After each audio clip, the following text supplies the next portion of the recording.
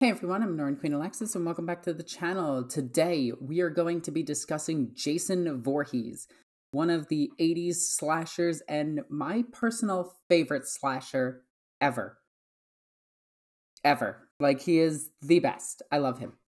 So in today's video we're going to be talking about Jason and what potential chaos god might be controlling him in the 41st millennium. Uh, we're comparing Jason from the Jason, uh, the Friday the 13th and Jason movies to Warhammer 40k and see what god would actually have him under, well, who would be empowering him. Because let's face it, it's Jason. He's super powerful. So, a little bit about the Chaos Gods first. We're going to be talking about the potential every Chaos God from Warhammer 40k except for the ones discontinued from Rogue Trader and First and Second Edition, because they have no longer been mentioned. So the Chaos Gods that we will be talking about in today's video is Tzeentch, Nurgle, Khorne, Slaanesh, Malal, Vashtorr, and potentially Be'lakor. Uh, the last two are not Chaos Gods. They are minor, they're very strong Chaos entities, but they are not Chaos Gods. Vashtorr is almost a Chaos God. Be'lakor is not a Chaos God but he does control an army, so I figured he deserves an honorable mention. Although in 40k he only loses. Anyway, Jason Voorhees. Jason Voorhees was born in the 1940s, I want to say, or the 50s. I think he was born in the 40s. He is an unstoppable killer zombie, is the easiest way to put it the actual what he actually is is a deadite from the evil dead series. And i'm not kidding about that. The necronomicon appears in jason's movies. I think it's in the third movie. And his mother which was the first killer used the necronomicon to bring back jason's soul. And then through deadite magic jason became an unstoppable specter zombie um, Jason Voorhees was originally alive in some incarnations. The newest version of him had him survive and be human, but older versions just had him straight up being a deadite who just, as the movies progressed, got rapid, got more and more degraded over time. But he got more and more powerful each and every single time he died. This will be important later. I see you, Kovu. No, you don't have to argue with me. You had Tritos. Oh, he's arguing with me. So, Jason Voorhees in the first few movies, I think the first six movies, showed a progression that his body was starting to rot and decay and be destroyed, all the way up until Jason goes to Manhattan, which is a terrible movie, but it is a movie nonetheless. And we find out that Jason has a, well, weakness. Uh, in that movie, we find out that toxic waste, of all things, is something that is acidic toxic waste is something that can destroy Jason's body. And once his body is destroyed, it takes him a very long time to regenerate. In fact, it takes him like a year, uh, which is something similar to demons in Warhammer 40k. If you destroy a demon, its essence simply goes back to the warp until it can reconstitute its form. I, I do say form in quotations because demons technically are formless. Uh, they have no physical presence. Um, they exist only in the warp and the manifestations of them in reality that you see is actually something that you conjure up for them to take an appearance of. So demons look different to everyone who sees them, and in Warhammer 40k, the way that you beat a demon is through willpower. You think that your bolter can hurt this thing, thus it hurts it. But if its willpower is stronger than yours, you're going to die. so, Jason is um, in the later movies, we find out actually, it's Jason X. We find out that Jason's body can just flat out regenerate because, sure, uh, the last three movies in the Jason series before the remake, Kovu, before the remake, kind of made Jason more zombie than Deadite, which is a bit weird, but we're going to go with Deadite Jason, the unstoppable teleporting zombie. Um, does Jason teleport is also up for debate. Personally, I think he can, as he is a Deadite and thus has some magical properties from the Necronomicon. And we've seen Deadites in the Army of Darkness, well, in the Evil Dead series, be able to teleport. Uh, what are you doing? But don't you argue with me. My cat is talking talking back so much lately. So, uh, Jason Voorhees has a confirmed 151 kills, uh, which doesn't set him as the highest murderer in the slasher horror series. Uh, Pinhead, I think, has more. Michael Myers has more. I believe Freddy has slightly less, if I'm not mistaken. I could be wrong. I haven't checked that yet. Um, Art the Clown has less. We're going to be talking about, uh, in this series, we're going to be talking about a bunch of slashers. So if you have an idea for a slasher that you want to see in the next video, comment in the comment section down below. So, Jason's powers is regeneration, teleportation, uh, increased strength, aggression. Uh, he is slightly intelligent. He's not very intelligent, but he is smart enough to trick people, and he is smart enough to get the jump on people, and he's also smart enough to potentially drive a car. We don't know if he drives a car, but for him to get from Manhattan back to Crystal Lake in New Jersey, he would have to. He would have to.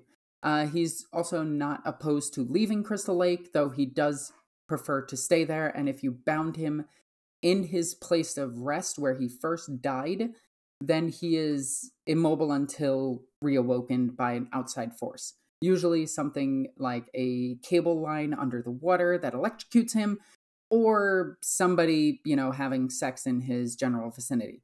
That's another thing. Jason hates sex. If you are horny within a 20 miles of this creature, he is coming after you. He is going to kill you.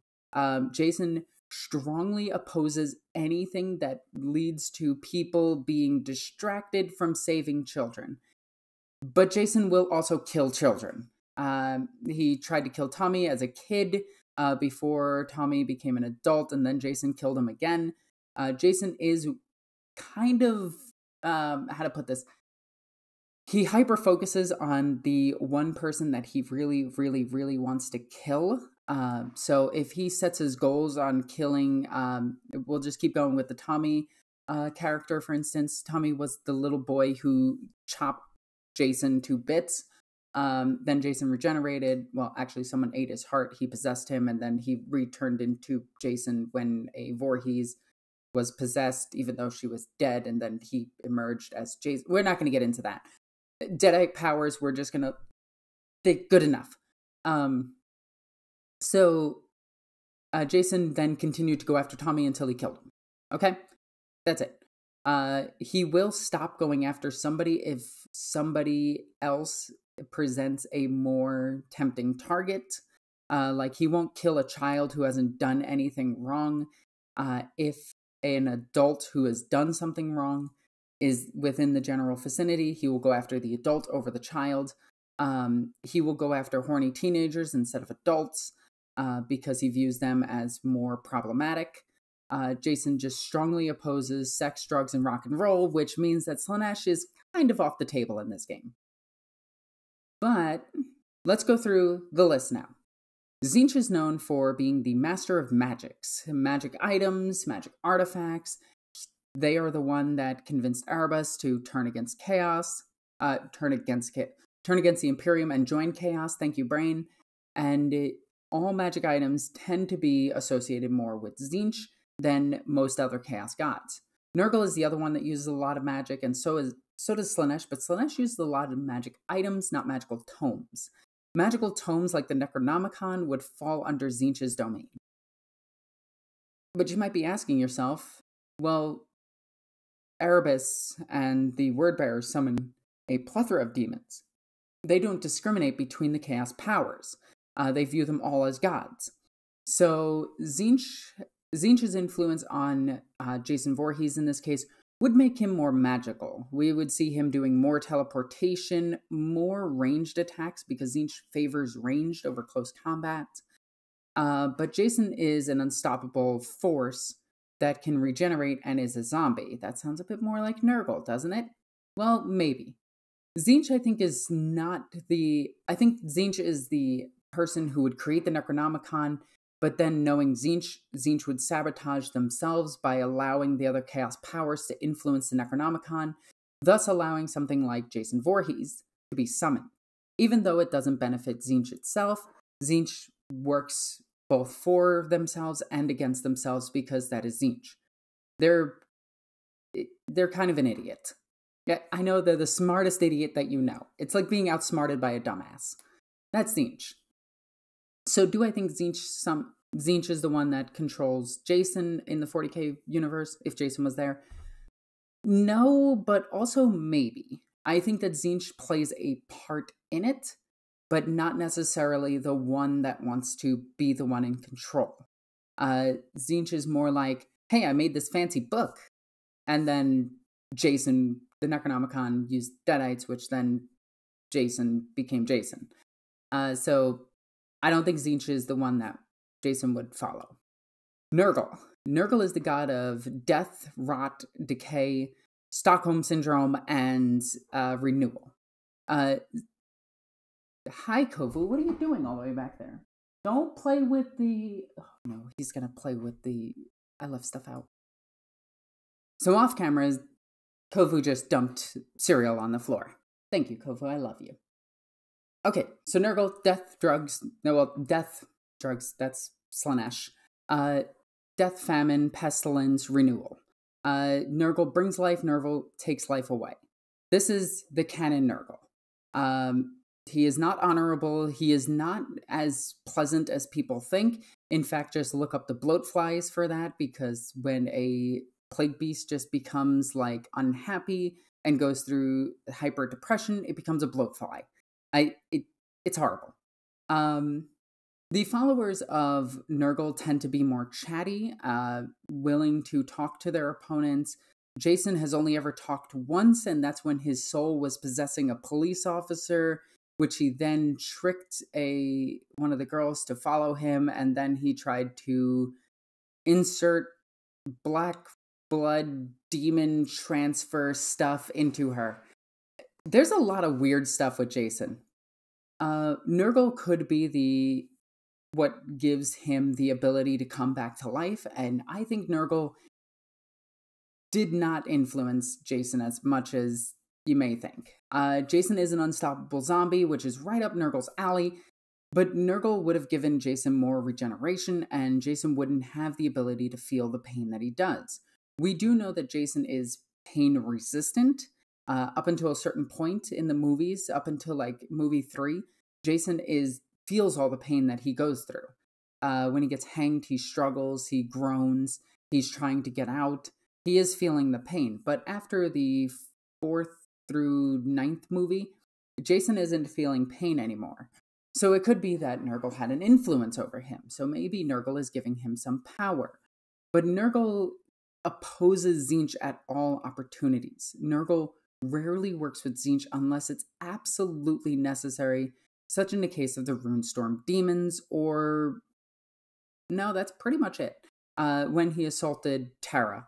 Uh, Nurgle really, really, really hates working with Tzeentch or any Tzeentch artifacts, but that does not mean that Nurgle would not influence somebody that has fallen to Tzeentch.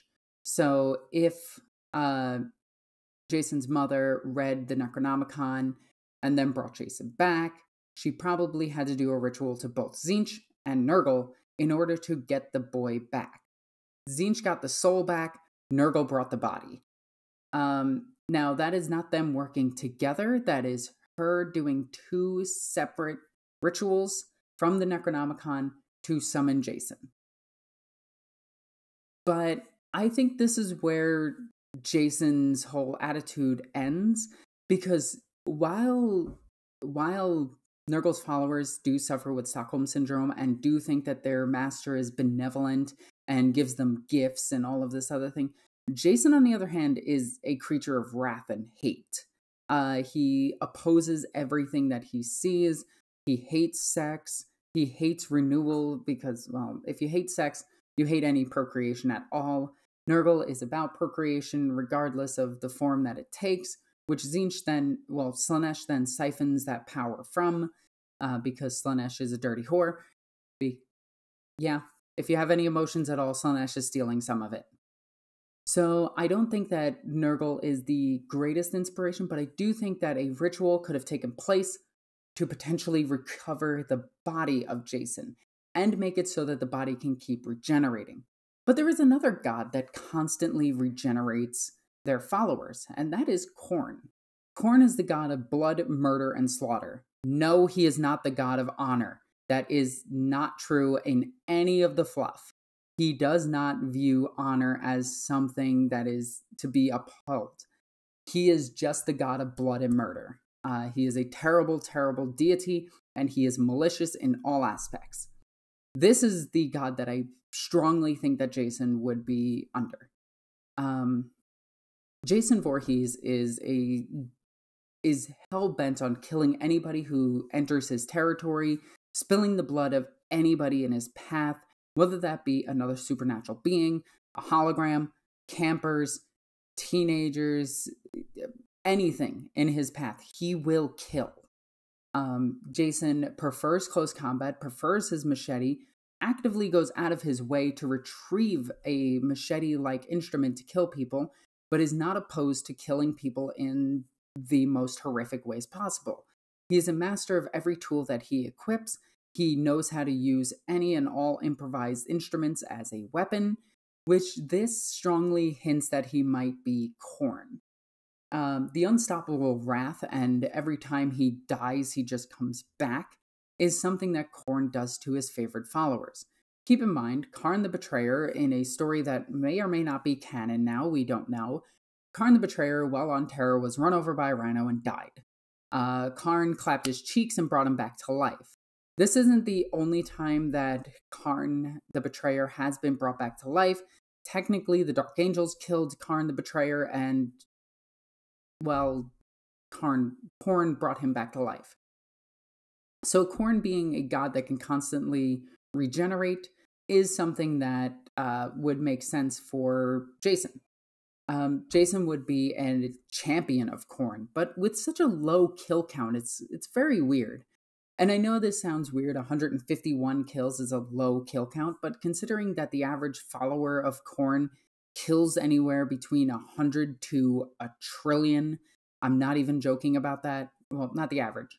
And the average only kills like one to two hundred, I'd say, uh, before they get caught by the Inquisition. Um, but their champions can kill anywhere from a thousand to a trillion, and yeah. The thing that I don't like about the um, Khorne being the god that controls Jason is that Jason Voorhees builds shrines. Those shrines could be using Deadite powers, which would fall back under Tzeentch. Um, so, yeah, it it's very weird because Jason Voorhees does use magic, uh, and Karn or Khorne is opposed to magic, but not opposed to sorcerers summoning his demons in, which he then kills. So he's opposed to magic unless it benefits him, and technically, all of his actions, demons, and abilities are all magic as well. He just pretends that it's not because it makes him feel better because he's insecure. Um, that being said, I think Jason does embody the wrath of Khorne. And the only Chaos God here out of these four that I can rule out is Slaanesh. Uh, Slaanesh is the is the opposite. Uh, Slaanesh would have uh, cults dedicated to sex, drugs, rock and roll because that's what Slaanesh is. And I'm tired of people on the internet saying that's not what Slaanesh is. It 100% is what Slaanesh is. Uh, Slaanesh would be more Hellraiser type demons, angels to some, demons to others. Um, where they view their gifts of pain as a benevolent thing to the people who open up the cube. I do want to do an episode on Pinhead. So if you want to see Pinhead, comment down below. But I do think that Jason is ideologically opposite to Slaanesh. Jason only takes lives, doesn't bring lives. He doesn't do any substances. He kills substance users and he actively goes after them he goes after people, taking pleasure in torturing people. Uh, Jason actively hates that as he was tortured to death. Uh, so I don't think that Slaanesh is the god that would influence Jason at all. um, so my my interpretation of what Jason is is a well, he is a deadite and I do think that a Deadite would be an uh, how to put this. He wouldn't be an ever chosen, but he would be a chaos undecided, uh, undivided. I do think that Jason embodies more of Khorne than any of the other gods. His body might come from Nurgle, and the sorcery and all of his magical abilities come from Tzeentch. That being said, there's another option. He might be a demon of Be'lakor. Be'lakor embodies all four chaos gods. Uh, so it stands to reason that Be'lakor would be using the Necronomicon. The Necronomicon could summon this creature to deal damage on a planet, and I do think Jason could probably take a Space Marine in a fight. Maybe not a chapter, but definitely a single Space Marine. Maybe a bunch of scouts, definitely the Imperial Guard. He'd burn away some of his body, but the second he gets a teleport, he would just be gone. Auspexes can't pick him up as he's cold blooded, uh, because, you know, he's dead. Um, so it would be very hard for them to deal with him. And also, willpower doesn't work against Jason, as Jason is just a force of wrath. He is a physical being that you cannot will away like a demon of Khorne. So I do think that Jason falls under Be'lakor's domain. I think he's part of the army of darkness from Be'lakor because he is a Deadite and Be'lakor has used the Necronomicon. Uh, it's yeah, it. I think he falls under an ever chosen, not an ever chosen, an undecided, an undivided, uh, where he embodies Tzeentch, Nurgle, and Khorne, and Be'lakor is the one that uses him. Vashtorr, on the other hand, probably uses Jason X because that movie was fucking terrible. And we're not going to get into that. The movie is awful. I love it. Overall, I think that Jason is an undiv- undivided, and I think that's where he fits more. But if I were to put a percentage on these, it would be 70% Khorne, 15%, probably 20% Nurgle, 10% Tzeentch. Because Jason doesn't really build shrines all too often. He dreams about building shrines, but that's not the same. The dream realm is, well, kind of a pocket dimension. So when Jason is in there, he does build shrines, uh, dragging his victims to his old hideout, where he then offers them to his mother. His mother, in this case, might just be a Tzeentch demon, um, because she used the Necronomicon. Yeah, it, it stands to reason that a Tzeentch demon would take the form of his mother to trick Jason into doing things. So I do think that Tzeentch would probably be in control of Jason most of the time, but Jason's wrath would be the thing that really gets him going. So yeah, that's the that's the video. I did not expect a 20 minute rant out of this. If you enjoyed this video, please comment down below what demon, what demon, what slasher from any franchise you would like to see. I I want to do videos on Art the Clown, Art the Clown, um, Michael Myers, uh, Freddy Krueger, you know the classics, Chucky, and all sorts of things like that.